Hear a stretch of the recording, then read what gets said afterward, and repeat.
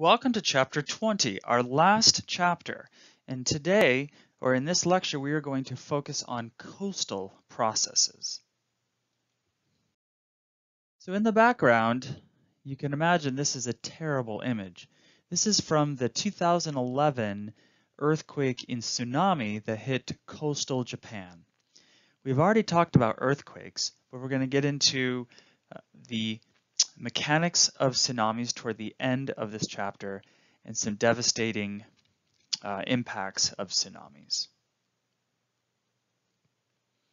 Now you might think of tsunamis as a giant wall of water that comes toward you like you see in this picture. But actually most tsunamis are not that tall. It's the forward push of that water that really has the devastating impact. So some big picture questions for chapter 20 will include what really changes sea level from place to place? What are tides and what exactly are the differences between spring and neap tides? What are various coastal formations? What are some of the ways that we have eroding coastal uh, features and landscapes? And how and why do tsunamis form? Common terms for chapter 20, we're going to get into different kinds of tides. We're going to get into what causes waves, what wave refraction is, some coastal features such as a spit, tombolo, baymouth bar, and a barrier island. Even though this isn't in the book, we're going to talk about rip currents and then end it with tsunamis. So I'd like to start a lot of my lectures with a picture. And my question to you right now is that we're, we're looking at this cliff, but why exactly are there areas that are green toward the bottom of this cliff? And the answer really comes down to tides. In this area right here, there is a very high tide that keeps a mark up there, and we're seeing a very low tide so that there's a very large tidal range. And this is in the Bay of Fundy in northeastern Canada. So when it's high tide, there's enough time for algae to grow onto this cliff. Pretty cool, huh? So there's other interesting pictures of tides and what they can do. Sometimes when we have a low tide, certain boats can be stranded because there's just no water. And then high tide, you have the water where you see in this picture no water. You can actually have water um, filling in the, the bay. It just depends on the local topography and the geography of bays and inlets um, that determines how high and low your tides are. But you might be wondering, well, what are some other reasons why we have tides? And what is the actual uh, physical uh, mechanism for tides. It has to do with the gravitational pull of the sun and the moon. So probably most of you have heard that the moon will cause tides, but the, the sun does uh, has about 50% power as the moon does. Keep in mind, the sun is 93 million miles away, but it's so big compared to the moon. The moon is much closer, but it's small. Now, when we have times where we have really high tides and then really low tides, we call those spring tides. And that occurs when the Earth, Moon, and Sun are in alignment, make a straight line. And that occurs when we have a new moon or a full moon. So you might be wondering how many tides do we have how many tides do we have during the day? We have two high tides and two low tides every single day. But during the new moon and full moon, those high tides are really high and the low tides are really low. So we have a very large tidal range. However, when it's first quarter or third quarter moon, then the sun and the moon act not together, but sort of in opposition. So our high tides aren't really high and our low tides aren't that low. So we have a minimal tidal range. And we call those neap tides. Now tides can actually be significant agents of erosion. And that's what this slide is really all about. It's, it's showing you that a certain area in um, northeastern Canada, actually just north of Maine, the Bay of Fundy, where this section right here has been eroded away relatively recently because you can see trees growing on top of this what we call sea stack. So the the tides in this area because that because they range uh, very dramatically and they can erode a lot of the the erodible rocks along the coast, we get these sort of um, isolated um, looks like you know stacks of rocks, but we call those sea stacks. So tides don't just you know create great um, surfing waves or or strand boats in a harbor, but they can actually uh, be agents of erosion. So here's just some more um, examples where we have a difference between high and low tide. So take a look at the two pictures on the top where you have a dramatic difference. And when we don't have, or when we have a low tide, these boats are basically stranded. Another image is down here on the lower left. In some places, the tides can be uh, powerful enough to produce tidal power. So you, you have right here an electricity generating station due to tides. Tides as we just noticed, will move the water up or down based on the gravitational pull of the sun and the moon. And and it depends on where the moon is when it's when it's um, rotating around, or I should say revolving around the Earth. So that might make you wonder, well, what is the sea level like in different places? You might think that because water, you know, you look out at the water, it's very flat. But in reality, there is changing topography of the surface of the ocean. Tides, storms, and other wind patterns can actually temporarily and in certain locations alter mean sea level. I like to show this picture because this picture is showing a significant area here with very high, or I should say much above average when it comes to uh, the sea level. Any idea why? Remembering that this is in October. Well, it comes down to there was a typhoon just off the coast, just um, south of Japan and off the coast of China. And if you remember back in chapter 7 with hurricanes and typhoons, the low pressure in those systems are so low that the water can actually rise. And that's what's happening in this picture. Another example is El Nino. So this is showing an El Nino where we have warm, warmer than average waters in the eastern and central Pacific. Warmer water will expand just a little bit and create higher than normal um, sea levels. So when it comes to the sea levels and storms, we often get waves. And much of this chapter is going to focus on waves. What causes waves and what do waves do to the landscape? Here's another cool image of waves. This is you know, more like a time-lapse view of waves. And as you can see, even right here, eventually this part will erode away. Very similar to waterfalls eroding away the bedrock underneath.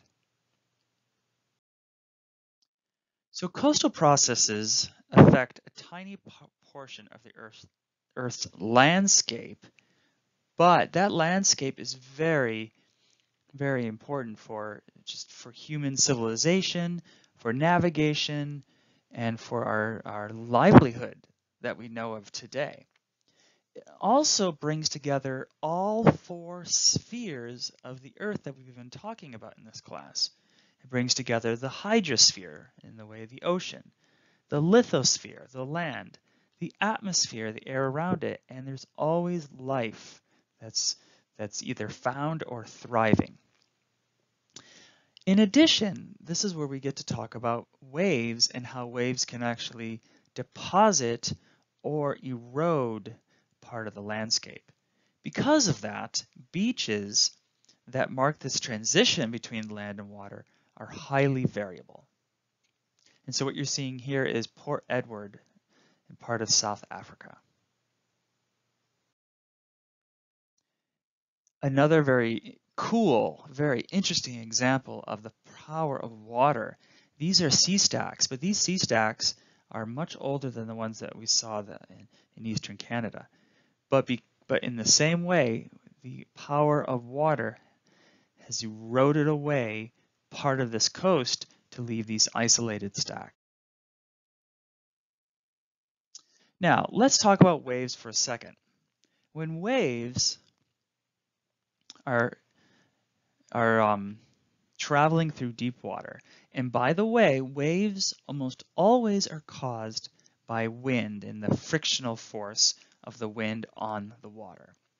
But when we have wave action in an open ocean where it's deep, we see elliptical motion. So we don't see a lot of forward movement of the water. We see more water oscillating up and down. But as these waves travel close to the coast, they start to feel the bottom of, of the ocean. And then they start to get dragged, and then the motion of water, uh, water particles become elliptical. And that will raise the wave itself to the point where it breaks. And where it breaks is often where you have the characteristic um, waves that you like to see when you go to the beach. And then with that will be some backwash. And that backwash has a lot to do with rip currents we'll talk in a minute about. Now, when we have these waves traveling toward the coast, because the coast is irregular and at the bottom of the ocean is also irregular with different um, topographies, we see a change in direction of the waves. So the waves are bent due to some parts of those waves slowing down and other parts speeding up. So what we find because of that is that the waves tend to focus toward headlands and then defocus when we get into a bay, a bay like right here. So eventually over time, the coast will straighten because with erosion, we have the headlands going away, and then with deposition, we have the bays filling up. So there's so coastlines are quite dynamic, especially over long periods of time.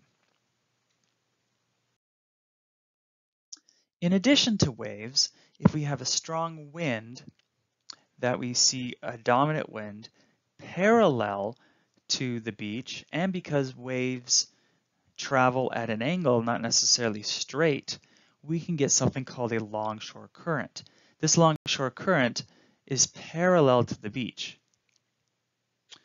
And if you've ever gone to the beach in the Santa Monica Bay, you may have noticed that you're you, you might go out into the water for a little bit, and then over time, you look back at the beach and you're no longer you're no longer you know dead on where you started because the longshore current has moved you. Um, I think the longshore current in the, in the Santa Monica Bay moves southward. Yes, and so that's interesting in, in terms of you know swimming in the ocean, but also what it can do is it can actually change the the layout of the beach. It could create uh, sand dunes actually in some cases uh, for deposition or little uh, bays, uh, scoured out bays when we have erosion.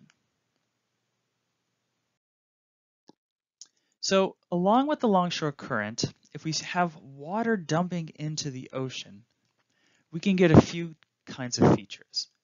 The first one is a spit.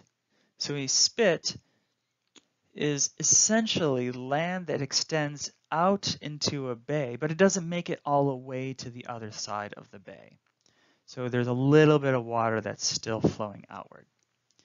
If that extension of the land goes from one end of the bay to the other, it's, it's called a bay mouth bar. And the bay is actually no longer a bay, it's a lagoon. If we have a perpendicular extension of land, perpendicular to the beach, and it can extend out to, let's say, um, uh, a sea stack, we call that a tombolo. So lots of interesting features are, are, are created along the coast because of wave refraction and because of the longshore current. And you see a beautiful example of a tombolo off the coast of Australia.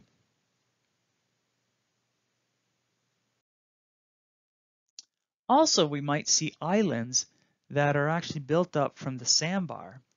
And these islands are formed parallel to the coast. They only, they're very shallow. They only rise to about a few meters above sea level. And, you know, fortunately, they're beautiful places uh, to live. Unfortunately, if you live on one of these islands and you have um, uh, a high risk for hurricanes, it can be a devastating place to be.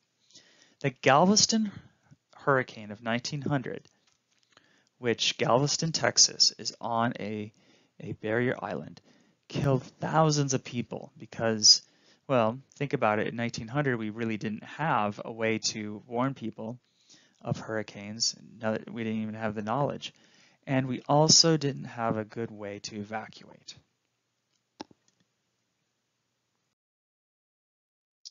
When we get into areas like California where we have a lot of tectonic activity, we can see erosion on sort of a, a stepwise manner. So let's take a look at this image here. We have a sea cliff, and above that is a flat plain. That used to be where the beach was at one time. And then we go up higher and we see another cliff we can call that a wave cut platform. And then we see another one. So these series of steps they look like, they used to be sea cliffs and those these flat areas used to be the beach where the sea was. And there are two primary reasons why we have this. First, sea levels have changed throughout time, long periods of time. Second, these areas are in tectonically active areas where the land has actually um, been, you know, been pushed upward or sometimes downward due to earthquakes. And also some interesting uh, features we might find because of erosion are sea caves. Down here is a really cool looking sea stack. And sometimes you will see notches in the side of a cliff if we have enough wave action. One thing I got to note is that you know building on these these beautiful landscapes can be inviting, but it can also be dangerous. They can collapse. Because we have something called beach erosion. So beach erosion essentially sounds what it is what it sounds like. We've talked already about erosion, but if you build on these beaches, you're prone to erosion, especially if you have very loose sand. So you, so after a hurricane, these houses down here, I don't think are very um, habitable. You can see where the the sand used to be, way up here at the bottom of this fire hydrant. Quite incredible how much sand has been eroded away just by one storm. So this tends to happen more with flat sandy beaches, but live on a cliff. You're still not out of the woods if we have a strong storm with a lot of waves, it can weaken the sides of these cliffs, which thereby could weaken a house. This happened quite dramatically in the 1997-98 El Nino that affected much of California. Now rip currents, rip currents are interesting because they are a return flow, a very quickly moving return flow of water every time we have of you know waves breaking onto the beach. But if there's a break in the sandbar, then this this sort of river of water that's that's moving outward toward the sea can go really fast. Unfortunately, it, it looks like when you have a rip current, they often look not as choppy as you see here. They often look very inviting to swim in because there there's not a lot of a lot of uh, waves breaking. But that's you know that's a, an unfortunate um, characteristic because people want to go in that and then they get stuck into these rip currents. Now there are ways to get out of the rip current and the best way, and it's not easy advice, is to not panic, but to swim, you know, perpendicular to the whim, uh, to the rip current or parallel to the beach. I have posted on Canvas a good video that talks a lot more about rip currents. So that brings us to tsunamis. So we've already talked about earthquakes and volcanoes in, in previous chapters, I saved this for tsunamis because this is a, a, a, an oceanic um, uh, phenomenon, but it is tied to earthquakes and in some cases volcanoes and in even in other cases landslides. But there's a lot of um, misinformation about tsunamis. So first of all, a tsunami is not a tidal wave. It occurs by some kind of disruption of the ocean floor. Most often, it occurs when we have a normal fault or a reverse fault creating an earthquake. And we get an, a sudden upward displacement of water, which then will spill out onto the, to the surface of the ocean and create very quick waves. And we're talking about waves that waves traveling nearly 500 miles per hour in the open ocean. However, in the open ocean, if you had to experience a tsunami, that's where you want to be because they're barely noticeable in the open ocean. But when they get close to the coast, they slow down, the wave height gets much higher, and they start to spill water onto, onto land, which is where most of the danger is. So by definition, tsunami means harbor wave. But in the media or in the general public, they often call them tidal waves, but tsunamis have nothing to do with the tides. Here's an interesting example. This is this is one that happened in 2004. This was the Indian Ocean tsunami on December 26, 2004. It devastated parts of Indonesia, India, Malaysia. What I'm showing you right here is that the height of these tsunami waves in the open ocean are only a few centimeters above sea level. But you can't see it on this map. Once they get to land, the height does increase to pretty dramatic heights. It, it can be. But again, the most dangerous part of a tsunami is the long wave so there's a lot of distance from one tsunami wave to another. And when tsunamis hit land, you can get multiple waves, but the, because the wavelength is so long, the forward push of the water seems to continue for a very long time and it can go very far inland. It basically goes as inland as it can until it hits higher ground. So the one I was just talking about the 2004 tsunami was, a, was caused by a magnitude 9.1 on the ocean floor. So that's the thing. These have to be, tsunamis are caused by ocean floor earthquakes. And a piece of the ocean floor had, had risen to create the tsunami. And because much of Indonesia is flat, it washed away entire villages and almost a quarter of a million people died. The 2011 uh, tsunami was caused by a magnitude 9.0 earthquake uh, off the coast of Japan, so it was on the bottom of the ocean floor.